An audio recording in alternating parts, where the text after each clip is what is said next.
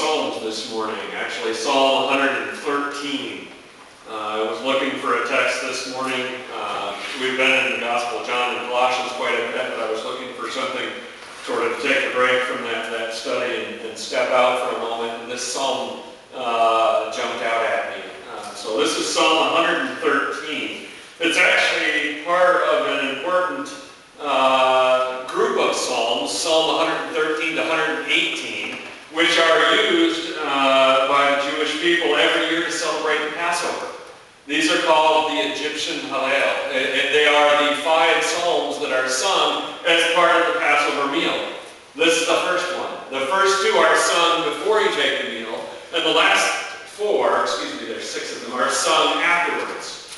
So this is one of the psalms that Jesus would have led when the gospel tells us that he led the hymn before they went out to the Mount of Olives. So at the Last Supper, this is the first psalm that they would have sung or, or whatever it was that they did in terms of chanting or sung or what, however they put it together.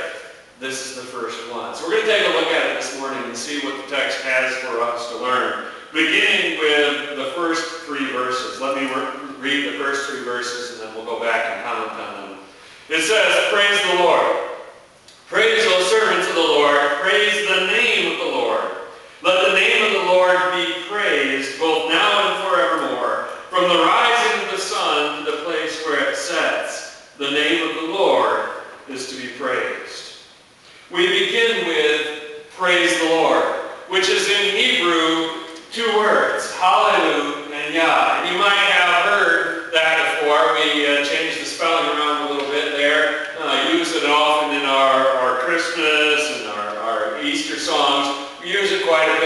don't know how many people know that that actually is what that is. Yah would be the first part of the name of God, would it not? Yahweh, which is Lord. So it is praise the Lord in Hebrew. What does it mean to praise something? We say that sometimes, or praise someone. Well, what does it actually mean when you praise someone? Well, there are two real ways that people praise. The first one, and the most common one, is to talk about what's positive about it, to, to list positive attributes uh, that are worth being recognized.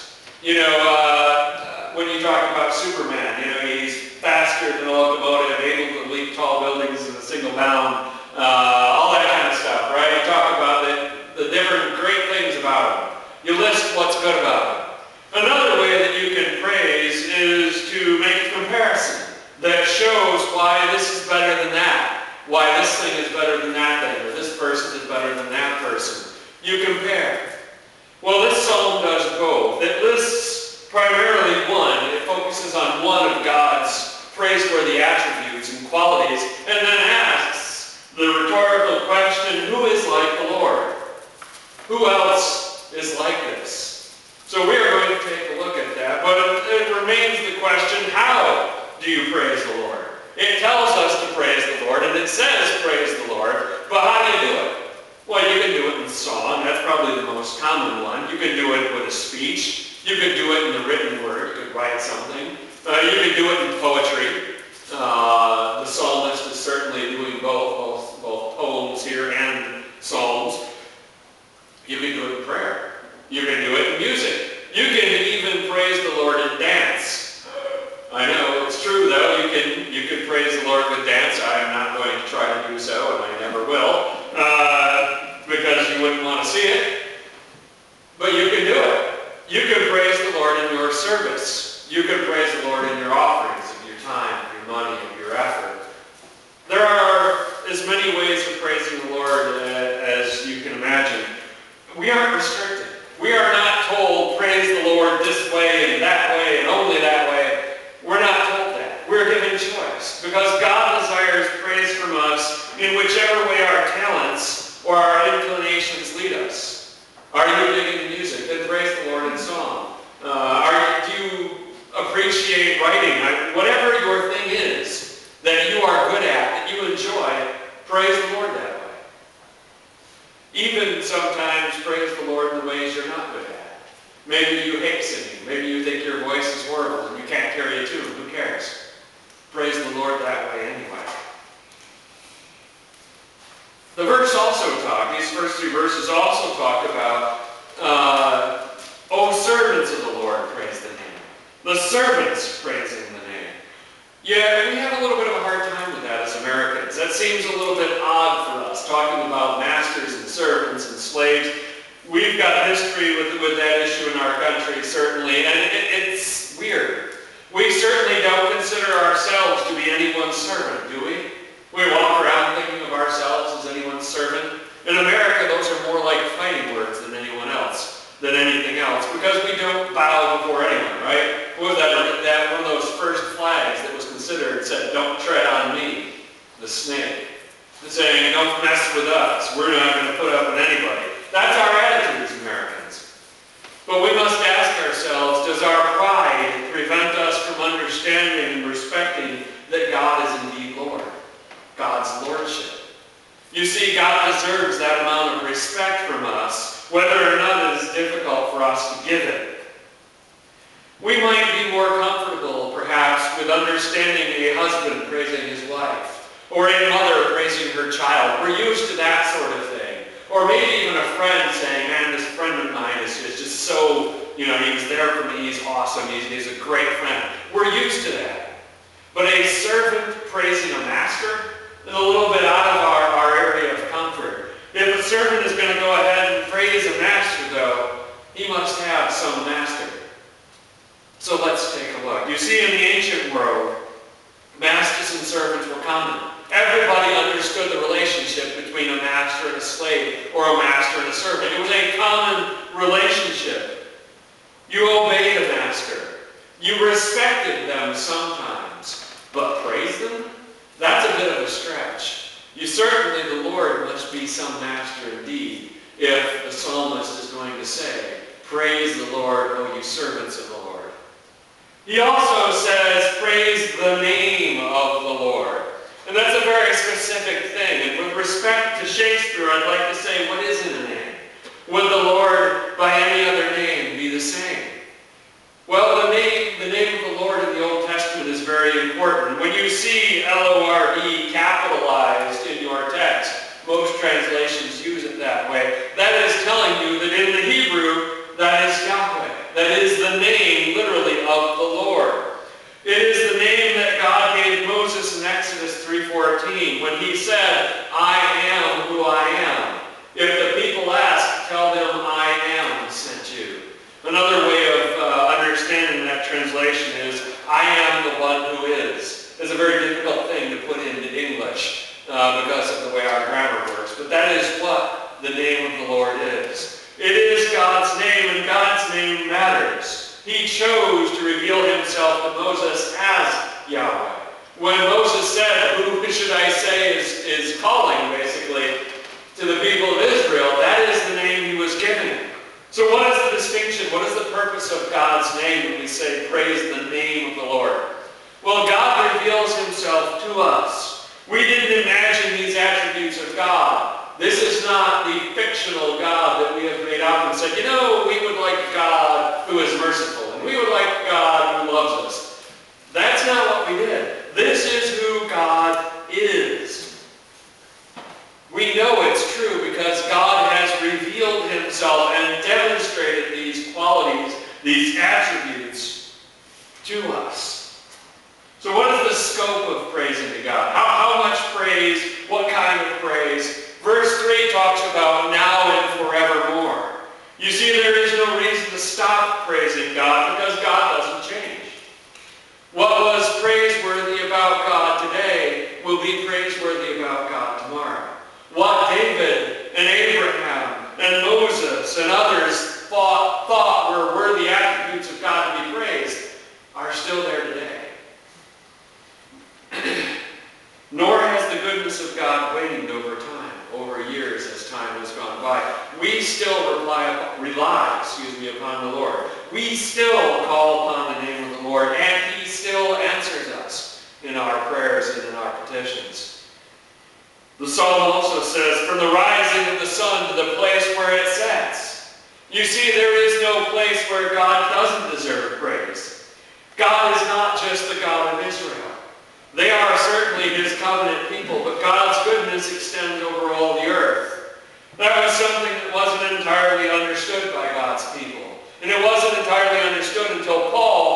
the gospel to the Gentiles and began preaching Christ to all the nations. There was resistance to that because they didn't understand that God was the God of all the earth. Not, not really, not down deep they didn't.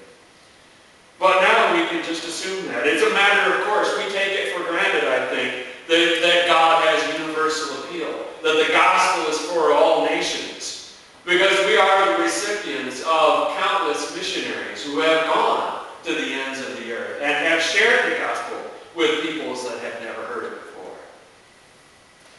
Verse 4, let's take a look at verse 4. It says, The Lord is exalted over all the nations, his glory above the heavens. The Lord is exalted. This answers the question, how much praise is God supposed to get? God's supposed to be praised all over the earth, forever. How much?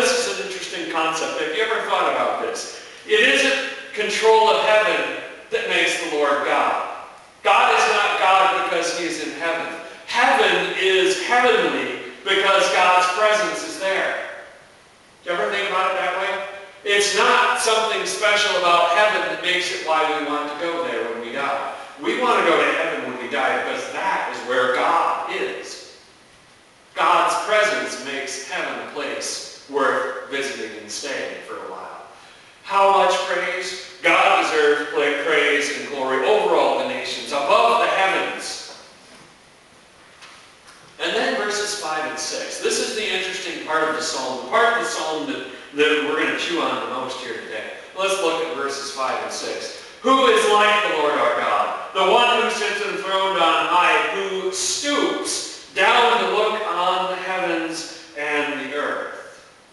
There is an interesting concept, beginning with the phrase, who is like the Lord our God? Short answer, nobody. Are many ways to express how and why the Lord is different from the gods that were worshipped by various nations and various people. We can talk about a lot of things that are distinctives about God. Why is God different? How is God unique? But this quality stands out, I think, the most. God is willing to stoop down to help us. Where else are you going to find that?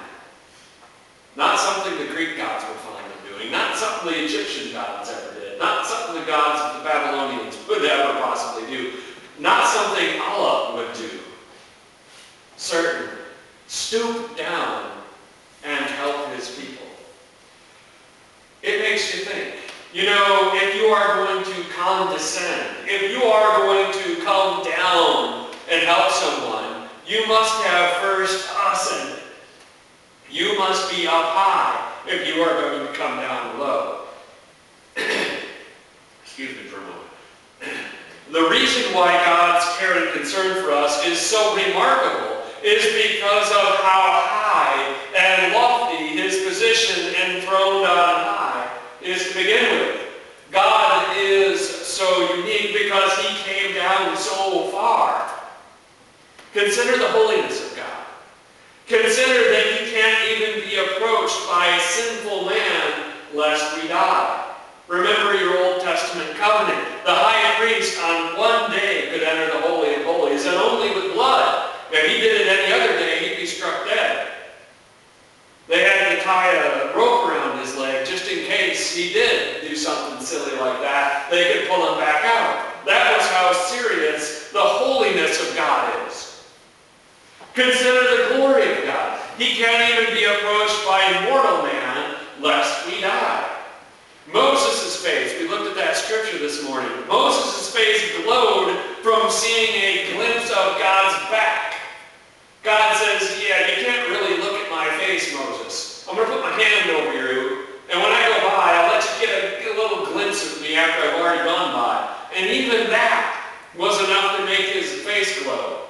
Now that seems kind of odd. The people were scared to death of Moses after that. They said, put a veil over your face, Moses. We, we're scared of even the reflection of God's glory in your face.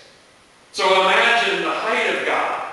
And yet God chooses to stoop to our level. Now, that phrase has a bad connotation to it, doesn't it? When you talk about someone stooping to their level, that means you're getting down on their level and, and lowering yourself, doesn't it? When we use it in English. But that is not at all what we're talking about here. What God is doing is not a bad thing at all. It is a good thing. Not only is it a good thing, it is the basis of our only hope of salvation, that God is willing to stoop to our level. The example of Jesus explains it most clearly. We read Philippians 2, 5 through 11. In that we are reminded in that famous passage that Jesus was and is God and yet chose to become a man. Not only a man, but a servant. A servant who would be willing to be obedient to God's will. Why save us from our sins. That whole passage encapsulates that. That is the uniqueness of Jesus Christ. Where else are you going to find God at our level? God with us. You are not going to find that anywhere else. Without certainly being sullied by our world so that we can be raised to God's level. It is an amazing thing. Now, we don't have any claim of obligation on God in this area. It was God's choice as creator to not stand apart from us. To not stand back from his creation and say, eh, they screwed up, let them get what they deserve. God, rather than that, sent his son into the world. Sent his son into the created world to become a part of it, that he might redeem both this world, literally this world, and the people in it. So how far does God have to bend as it were, to get down to us. Consider that his holy perfection came into sinful rebellion and walked among us. That his infinite immortality became finite and mortal. It was more of a gap to bridge than the loftiest of kings. Think of the greatest of kings, you know, Louis XIV or, or Solomon in his splendor. One of these kings that you imagine with all their pomp and circumstance and regality. Now imagine that king sitting down in the gutter next to the lowliest of beggars. You've not yet imagined the gap between God and us, and yet God is willing to stoop and bridge it. Not only that, verses 17, 7 and 9 give us something even perhaps more remarkable and more unexpected. Look at that. He raises the poor from the dust and lifts the needy from the ash heap. He seats them with princes, with the princes of their people. He settles the barren woman in her home as a happy mother of children. Praise the Lord. Not only that, but God has a preference. God's preference is for the poor and the needy. This is one of the consonant themes throughout Scripture. Turn anywhere to Scripture, to the Gospels, to the Old Testament, to the Epistles, and you will find God showing a marked preference for the side of the poor and the oppressed and the needy. Imagine that. But this is in keeping with God's willingness to stoop to us. It is the inverse of that. Not only does God come up from on high down to us, but he is also willing to elevate the humble up. He's doing both things. He's coming down to us, and he's bringing the humble, the poor, the weak, the needy up. Let me share just the, the examples that popped into my mind off the top of my head. Remember the story of Joseph. He was the lowest of slaves, sold into slavery by his own brothers, and God raises him up to leadership and control of Egypt. the most, most powerful nation in the world at the time. Think of Moses. Moses started off life in a basket floating down the river. And yet at the end of it, God said, this man is my friend. Imagine David sitting out there hanging out with the sheep. Glorious job that is. And yet God raised him up and sat him on a throne and said, this man is a man after my own heart. Think about those disciples that God chose. Half of them were fishermen. Fishermen is not a glorious job. It certainly wasn't back then and it's not now. It's hard work. It's dirty work. And yet God said, I like these guys. Jesus said, I can use these men. I can use a tax collector too. I can bring these people and make them my disciples. You see, God was the first one to appreciate the underdog story. The underdog stories that we love in our politics, right? We love when someone comes out of nowhere and upsets the system and, and wins it all. Or in our sports, we love rooting against the Yankees, don't we? Right? I mean, geez, not them. Anybody but, but them. Or in every sport, we love it when the team knocks them off, the Cinderella. Or in our movies, we love those movies about someone coming from nowhere, Rocky, right? Coming off the mean streets and being the champion. Well, God was the one that appreciated that story first. He's always been about the business of raising up the downtrodden. But why the poor? Why is he picking on the poor? Why is he letting the poor get off? Isn't it their own fault, we think? Aren't they the ones that chose drugs and alcoholism? They made bad choices and didn't get an education, and it's their own bad luck, right? We start to feel that way sometimes about the poor. Yet God consistently sides with the poor against the rich and with the weak against the strong. Consistently. Beginning to think that God must see something in them that we don't.